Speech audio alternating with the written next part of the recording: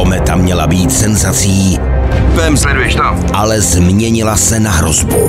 Naměřila jsem prudké záření v bezpečné zóně pásu. Život na naší planetě Zasáhne zemi. je v ohrožení. Dělej, skoč! A času zbývá nebezpečně málo. Začátek konce srážka s kometou. Ve čtvrtek ve 2020 na Joy Family.